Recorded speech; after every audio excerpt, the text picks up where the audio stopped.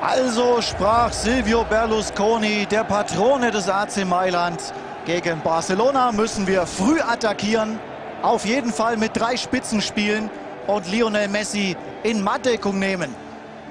So die Aussage des Chefs. Auf dem Papier sah das erstmal nach drei Spitzen aus.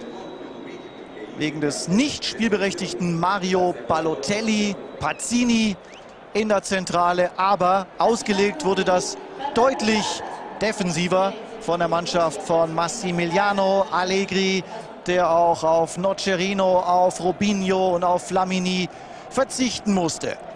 Ja, sie hatten alle Augen für diese Weltauswahl. Der FC Barcelona mit den besten Elf im 16. Duell gegen den AC Mailand. Und das vor 80.000 eben zum ersten Mal in dieser Saison ausverkauften San Siro Stadion. Und Milan wurde ja von einigen vorab als komplett chancenlos bezeichnet in diesem Klassiker. Und das machte die Minute ihre erste Möglichkeit. Schlechte Abwehr von Barcelona und Montari. Ja, warum eigentlich nicht? Ja, sie waren weiter von rechts nach links. El Sharawi mit der Chance, da legt er sich den Ball etwas zu weit vor. Dazwischen. Der 20-Jährige im Abs beste Schütze von Milan. Zuletzt war er im Schatten von Puyol aus den Abend mit Freundin Fanny und vielen Kumpels. Die anschließende Ecke, 16. Minute. Kevin Prinz Boateng, der machte ein richtig gutes Spiel. Er arbeitete hinten gut und er war vorne. Aber wenig Tempo, wenig Ideen. Xavi, 20. Minute. Das war schon ein das FC Barcelona. Und dann ist El Sharawi im dritten Champions League-Tor.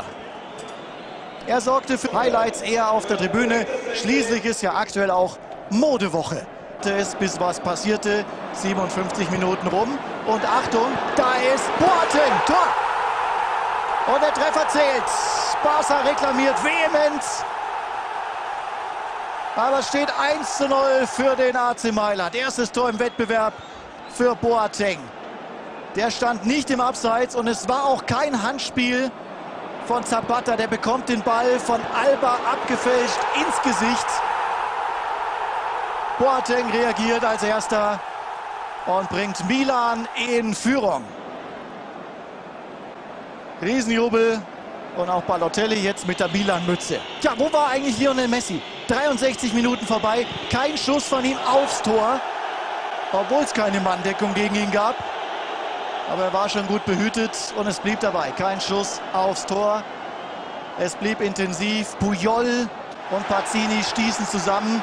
Die Haarpracht machte es dann unmöglich, Puyol bei der klaffenden Wunde einen Turban aufzusetzen. Und dann fand man eine andere Lösung.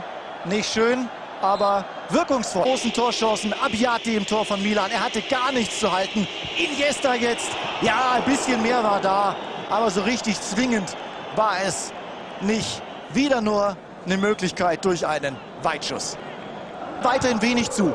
Sie spielten sehr strukturiert, sehr diszipliniert und nach vorne ging plötzlich was. Mian vorbei am El Sharawi und da drüben ist Montari, 2-0, 81. Minute. Die Sensation greifbar und auch das ist eine Geschichte. Montari, der war ein halbes Jahr lang verletzt, machte sein erstes Champions League-Spiel in dieser Saison und trifft zum 2 zu 0. Klasse Vorarbeit von El Sharawi. Und Milan mit zwei Toren in Führung. Tolle Vorlage, klasse Abschluss, ein Riesentor. Der Balotelli-Clan, der war da oben außer Rand bei. 87. Minute. Ecke Barcelona, da kommt Puyol. Der kämpfte um den Anschluss, der natürlich fürs Rückspiel vieles rein. Trotz offener Katalanen erst einmal in 38 Pflichtspielen ohne Tor. Es blieb dabei.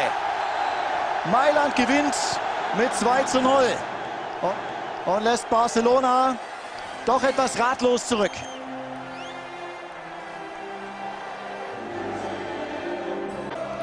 Zum ersten Mal seit acht Jahren schlägt also der AC Mailand den FC Barcelona und hat durchaus Chancen, das im Rückspiel zu Ende zu bringen.